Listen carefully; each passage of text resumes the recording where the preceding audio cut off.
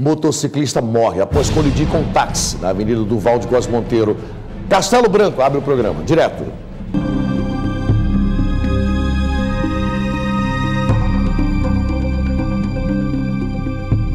Olha, Siqueira Júnior, estamos aqui na Avenida Fernandes de Lima para Duval de Góes Monteiro, em frente ao Debaran. O rapaz vinha nessa motocicleta, Anderson. Ele tinha 22 anos. O pai dele se encontra aqui no local junto com o corpo. Ele vinha em alta velocidade e colidiu por trás de um táxi. Está aqui a motocicleta bastante danificada, tá? O impacto foi muito forte, como os senhores podem ver. Mostra aqui, Taco, por favor. Toda danificada a frente aqui da moto. E o rapaz entrou em óbito aqui no local, na Avenida do Valde Góes de Monteiro. O pai do rapaz é aquele de camisa preta, está em estado de choque. Aqueles são familiares dele.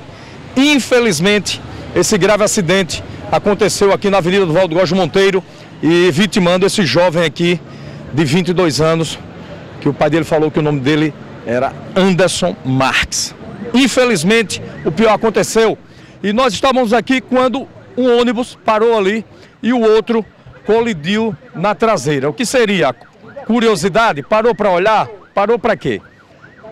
Várias pessoas param aqui para poder olhar o que é que é. Isso aí, essa curiosidade, faz com que venha outros carros e batam por trás. Tá ali. O rapaz parou do alternativo, o pessoal da Real Alagoas veio e colidiu na traseira desse ônibus. A tarde está apenas começando.